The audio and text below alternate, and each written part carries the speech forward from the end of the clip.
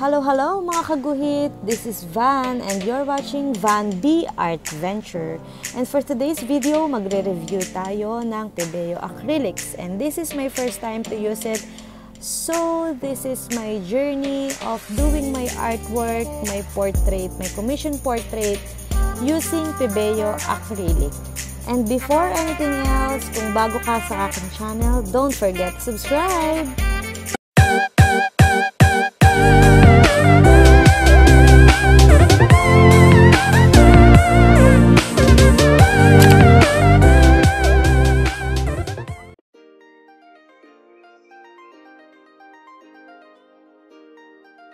Ito na yung ating Pebeo Acrylic Paints. I-review ko lang siya ng konti since nagamit ko na siya sa portrait na ginawa ko.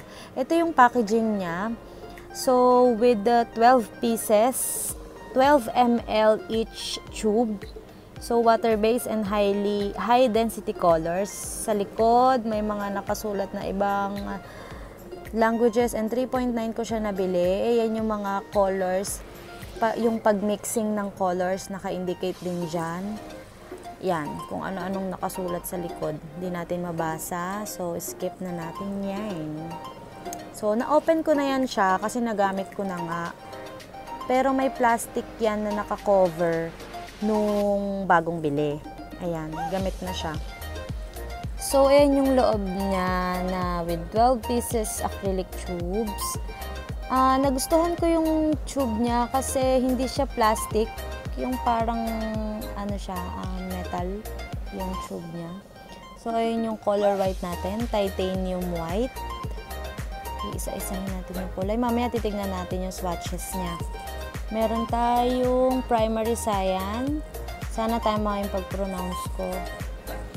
Uh, Oriental violet. Hooker's Green. Hooker's Green. Primary Yellow. Primary Yellow. And, ano to? Actually, hindi ko to talaga mabasa. So, emerald na lang yung ipapangalan ko sa kanya. Sobrang haba. Hindi madaling tandaan yung, yung pangalan ng kulay. Meron din tayong hindi mag-focus. Ayaw mag-focus. Yan, burnt sienna, uh, yellow ochre, um, primary magenta, at transparent vermilion. Medyo mahirap tandaan yung mga kulay niya. Burnt amber and Mars black. Mars black. Yan. So, ayan yung mga colors ng tube. Medyo gulo-gulo na siya. Hindi naman ganyan yung ayos niya nung inopen kasi nabuksan ko na nga. Ayan yung tube niya. So, pag inopen mo siya, naka-sealed pa naman yung loob niya. Ayan. So, mabubuksan mo lang siya gamit din yung takip niya. Yung normal na pagbukas, parang sa mga mighty band, ganun. Ayan. Para ma-open mo yung isang tube. 12 ml each tube. So ngayon, itatry na natin yung swatches ng each color. Mag-start tayo sa titanium white. Ayan, medyo natakpan naman yung dark mark, yung black mark natin.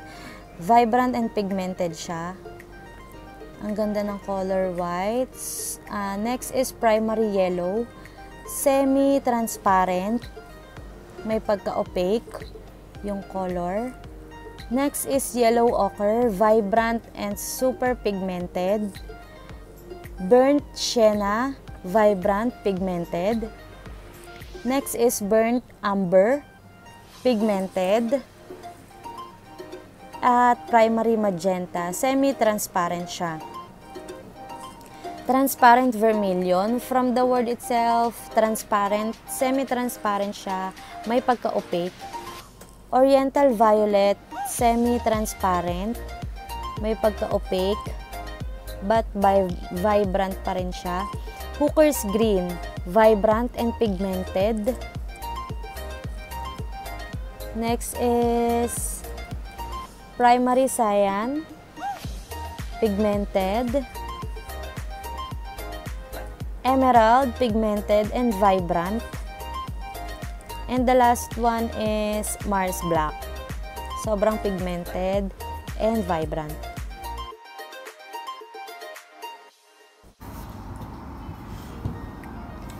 Day 1. So, kung mapapansin nyo, hindi pa ako gumamit ng canvas.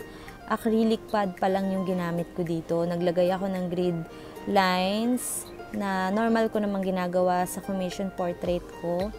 Trial and error tong day 1 ko. So, pagbigyan nyo na kung anong kalalabasan. Hindi pa ako gumamit dito ng canvas hindi ko na-record o hindi ko na-film yung unang pag-paint ko ng unang subject natin kasi nanonood ako ng mga tutorial sa YouTube, hindi ko alam kung paano mag-mixing ng colors, wala pa talaga akong idea.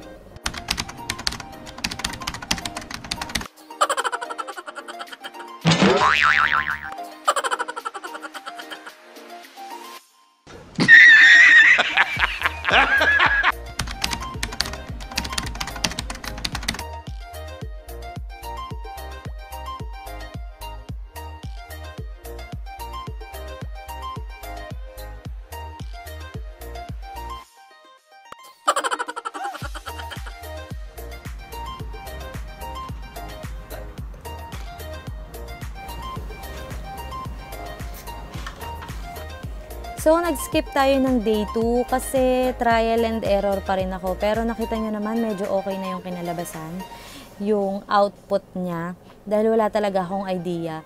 At sa sobrang excite ko, itry yung acrylic, uh, nakalimutan ko na dapat pala background muna bago yung pinaka-subject natin para hindi ma-damage yung face or yung pinaka-subject natin kasi nag apply huli natin nilagay yung background. Pero since isa pa lang naman yung nagagawa ko, tinuloy ko na siya.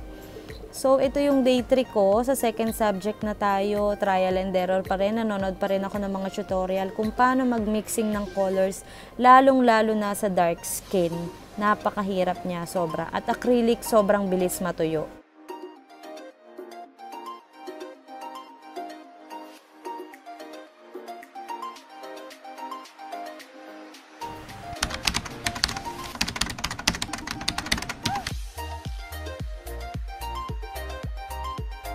So, this is my day 5 mga besh.